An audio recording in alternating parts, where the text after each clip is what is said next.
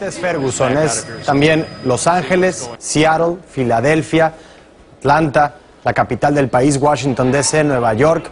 Más de 115 ciudades y 34 estados registran protestas esta noche.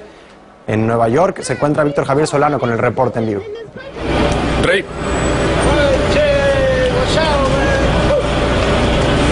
¿Qué tal Enrique? Buenas noches. Estoy aquí en pleno corazón de Times Square, uno de los epicentros de la protesta.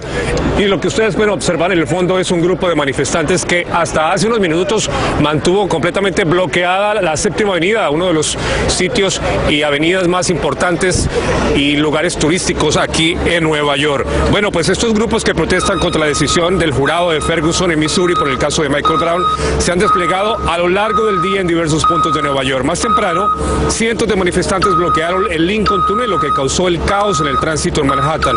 Inicialmente intentaron seguir la marcha a través del túnel, la policía se los impidió, pero aún así no pudo evitar la congestión que se prolongó por varias horas. Otros grupos bloquearon varias vías importantes como la autopista FDR, los puentes de Brooklyn y de Manhattan, lo que ha llevado a la policía a realizar numerosos arrestos. Esta situación ocurre en vísperas del Día de Acción de Gracias y cuando se pronostica para las próximas horas una tormenta de nieve que amenaza con complicar todavía más el desplazamiento de millones de viajeros tanto por carretera como por los aeropuertos. El comisionado de policía de Nueva York, Bill Bratton, ha dicho que le ha permitido hasta cierto punto a los manifestantes que se, que se expresen, pero que las cosas cambiarán si se van a tornar violentos. Por lo pronto es la situación que se vive aquí en Nueva York. Víctor Javier Solano, Noticias, Univisión, te regreso con ustedes. Muchísimas gracias con el reporte desde Nueva York, Víctor Javier Solano.